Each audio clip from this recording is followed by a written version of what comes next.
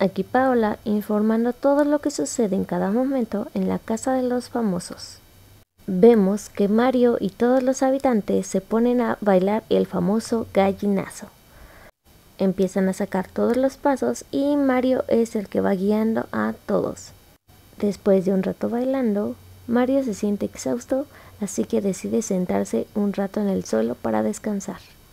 Y es ahí cuando le pone el DJ la otra famosa canción que baila Mario. Tan style como le dice él. Así es como todos los habitantes se ponen a acompañarlo y empiezan a bailar con él. Igual que con el gallinazo, Mario los va guiando y les va enseñando los pasos.